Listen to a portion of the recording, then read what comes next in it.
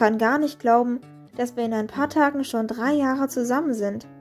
Am 4. April 2021 haben wir uns ja gegenseitige Liebe gestanden. Weißt du noch, wie wir unser einjähriges Jubiläum verbracht haben? Ja klar, daran kann ich mich noch sehr gut erinnern. Hallo Annika, komm rein. Malte ist in seinem Zimmer.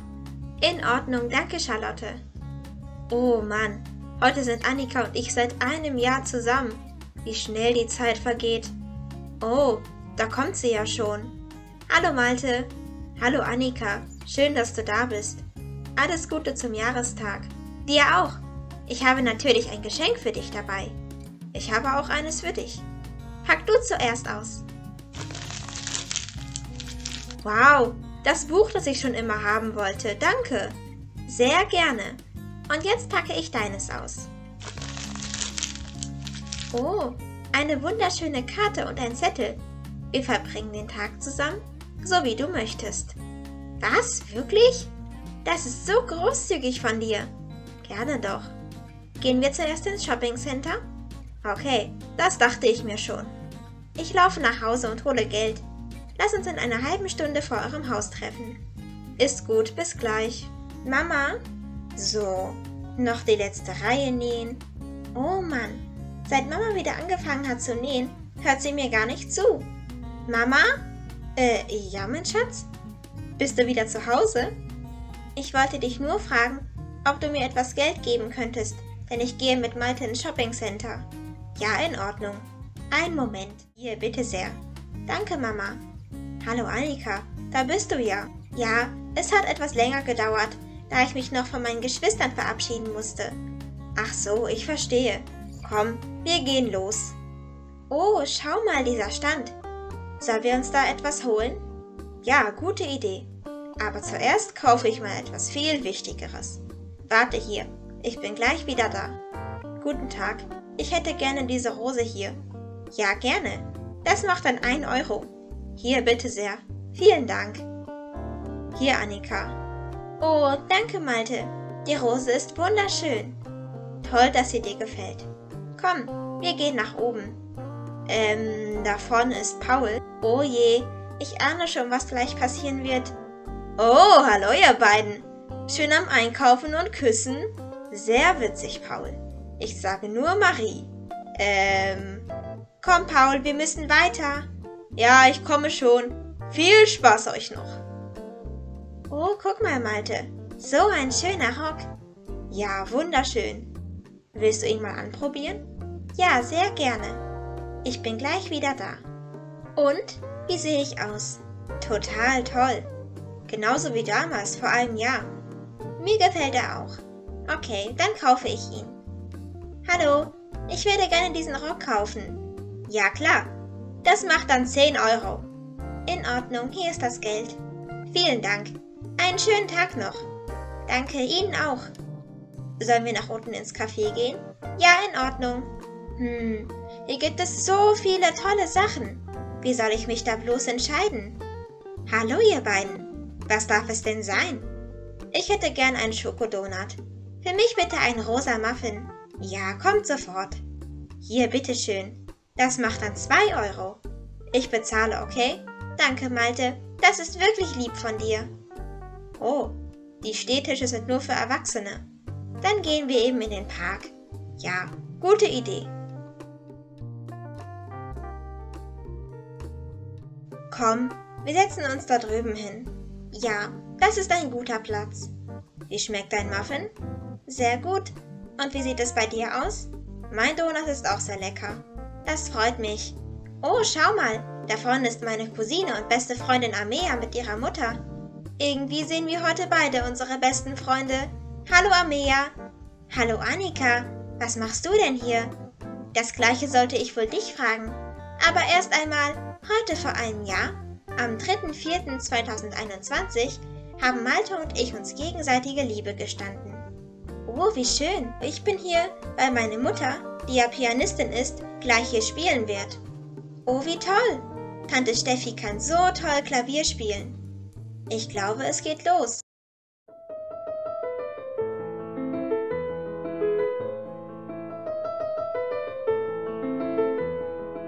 Wow, sehr schön. Wir müssen jetzt aber auch weiter. Okay, dann tschüss. Tschüss. Und wo gehen wir jetzt hin? Zu dir nach Hause.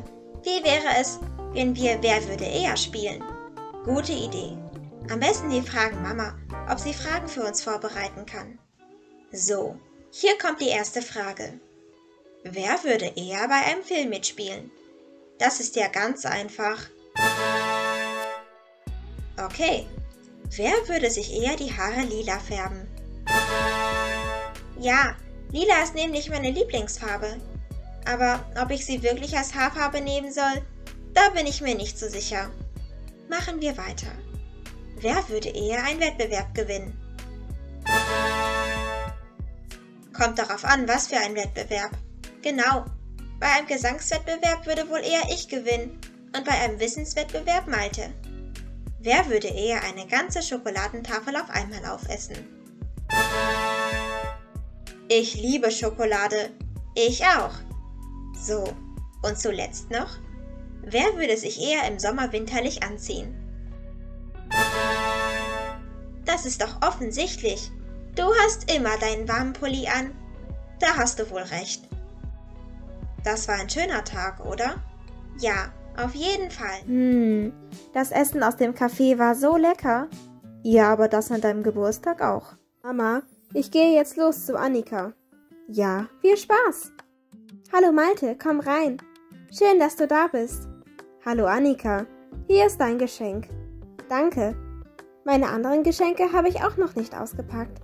Das mache ich dann jetzt. Ja, wir bereiten hier nur noch alles vor. Währenddessen könnt ihr ja kurz nach oben gehen. Okay. okay. Was sollen wir machen? Ich habe eine Idee. Ich zeige den Zuschauern das Obergeschoss. Wir beginnen direkt hier, im Zimmer von mir und meinem Bruder Lukas. Er ist übrigens zwölf Jahre alt. Hier stehen mein Bett und ein Regal mit Spielzeug. Dahinter hängt dann eine lila Tapete. Darauf habe ich drei Kakteen geklebt. Hier liegt dann mein großes Kuschelkissen und dort ist der Schreibtisch. Der ist eigentlich ein Playmobil-Regal. Dort drüben ist Lukas Bereich. Nun gehen wir rüber in Mamas Nähzimmer. Wenn sie sich nicht gerade um die Babys kümmert oder im Haushalt arbeitet, verbringt sie hier die meiste Zeit. Und nun kommt mit ins Badezimmer. So sieht es aus. Am besten gefällt mir die sommerliche Tapete an der Wand. Nun blende ich euch noch Bilder vom Untergeschoss ein.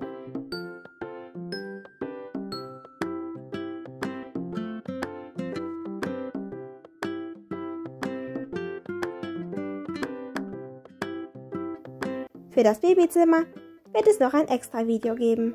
Kinder, ihr könnt kommen. Oh, hier sieht es aber schön aus. Ja, und hier sind deine Geschenke. Dieses hier ist von mir. Oh, eine Fee, wie schön. Jetzt das nächste Geschenk.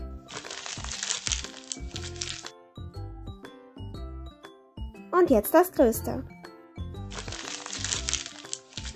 Wow, das Playmobil Krankenhaus. Danke, ich freue mich so. Gerne doch. Hier, dieses Geschenk ist noch von Oma und Opa. Super, das Jugendzimmer. Also mir haben meine Geschenke sehr gefallen. Das freut uns. Hier hast du noch etwas Geld. Geh doch zusammen ein Eis essen und währenddessen bereiten Papa und ich alles für die Party vor. Das ist eine super Idee. Komm, Malte. Da drüben ist der Eisverkäufer. Hallo, welches Gelato darf es denn für euch sein? Ich hätte gerne Erdbeere in der Waffel, bitte. Und für mich bitte Waldmeister. Gerne, gerne. Kommt sofort. Hier, bitte sehr. Komm, wir setzen uns da drüben hin. Ja, gerne.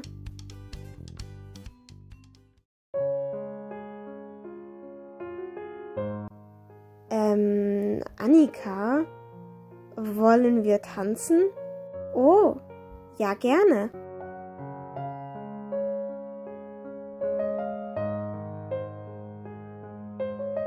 Ich habe eine Nachricht bekommen.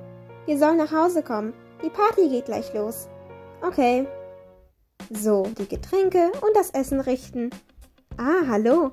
Schön, dass ihr wieder da seid. Hallo Mama. Wie lange dauert es noch, bis die Party losgeht? Noch etwa 20 Minuten. Einige Zeit später. Das müssen Sie sein. Herzlichen Glückwunsch. Danke. Na, Annika, wie sieht es aus? Möchtest du zuerst deine Geschenke auspacken oder Kuchen essen? Bitte, bitte, Kuchen essen.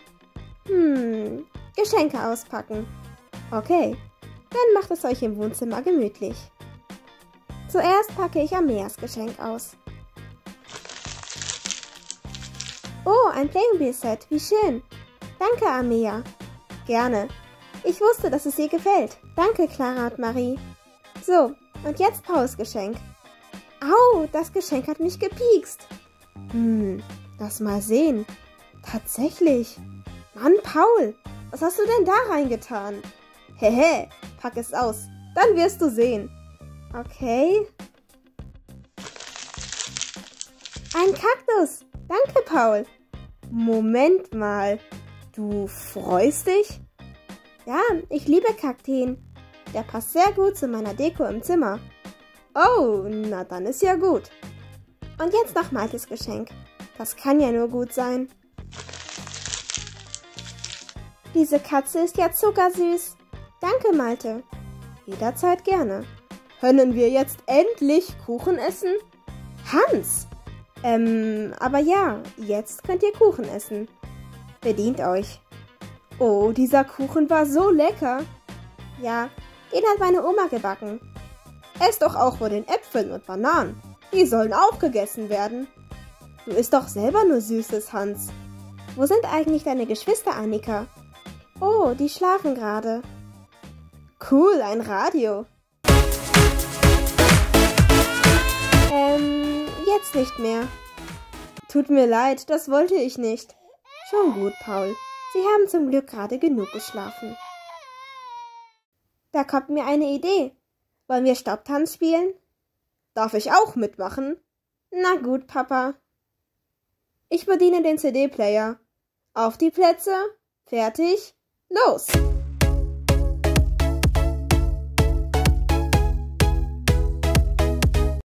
Marie, du hast dich bewegt. Du bist leider raus. Oh, schade.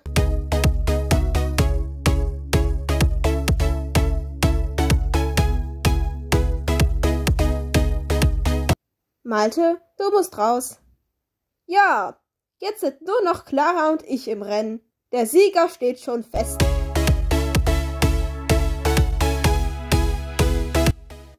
Schaut mal, was ich kann. Hilfe, ich kann mich nicht mehr halten. Tja, Papa, du hast leider verloren. Oh Mann, ich habe den Halt verloren. Clara, als Gewinnerin bekommst du ein Eis. Danke. Das wollte ich doch haben. Schau mal, Papa, da drüben sind noch Äpfel und Bananen übrig geblieben. Die sollen doch auch gegessen werden.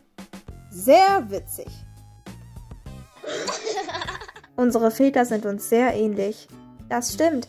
Aber Johannes ist ein wirklich talentierter Architekt. Das Café, das er entworfen hat, sah wunderschön aus. Hallo, ich bin wieder zu Hause. Ah, hallo Johannes. Schön, dass du wieder da bist. Das Café, das ich geplant habe, ist übrigens fertig gebaut worden. Darf ich mal sehen, wie es aussieht? Ja klar, ich kann dir ein Foto auf meinem Laptop zeigen. Hier ist es. Das sieht ja schön aus. Können wir da vielleicht hingehen? Grundsätzlich schon. Aber leider habe ich noch so viel im Haushalt zu tun. Aber du kannst ja Annika fragen, ob sie mit dir hingeht. Das ist eine gute Idee, Mama. Ich rufe sie an. Ja, hallo?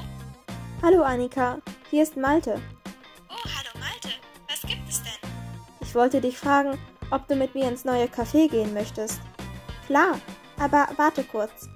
Mama, darf ich mit Malte in dieses neue Café in der Stadt? Ja, in Ordnung. Aber bleib nicht zu lange. Du musst deine Mutter übrigens nicht nach Geld fragen. Ich lade dich natürlich ein. Danke, Malti. Das ist lieb von dir. Oh, wie süß. Hans. Viel Spaß, Annika. Danke, Mama. Bis später. Du hast es ja gehört. Wir treffen uns dann gleich beim Café. Ja, bis gleich, Süße. Süße? Nicht dein Ernst. Mein kleines Mädchen geht mit einem Jungen aus. Zu deinem Glück hast du mehrere kleine Mädchen, Hans. Und Lea kannst du gleich wickeln. Mann, Katrin. Ah, da vorne kommt er ja. Schön dich zu sehen. Komm, wir gehen rein. Das sieht ja wirklich schön aus. Ja, bestell du zuerst. Hallo, ich hätte gerne diesen Muffin hier. Und ich hätte gerne den. Ja, gerne. Wollt ihr noch etwas trinken? Ja, ein Glas Kirschsaft bitte. Für mich bitte dasselbe. Okay, ihr könnt euch an den Tisch dort drüben setzen. Ich bringe euch dann gleich eure Bestellung. Und wie geht es dir? Gut, wie immer, wenn ich mit dir zusammen bin. Mir geht es genauso. Meine kleinen Geschwister können jetzt übrigens schon an der Hand laufen. Wow, das ist ja toll. Meine Cousine Lena kommt bald in den Kindergarten. Wahnsinn, wie schnell die Zeit vergeht. Ja, das stimmt. So, hier ist eure Bestellung. Guten Appetit. Danke. Danke. Das schmeckt sehr gut. Ja, finde ich auch. Ach ja, Annika, ich wollte dich noch etwas fragen. Das ist zwar schon klar, aber ich habe dich das noch nie offiziell gefragt. Oh, da bin ich gespannt. Annika Luise Krämer. Willst du meine Freundin werden? Ja, natürlich. Das war's auch schon mit dem Megapack. Wenn es euch gefallen hat, dann lasst doch gerne einen Daumen nach oben und ein Abo da. Dann tschüss, bis zum nächsten Mal.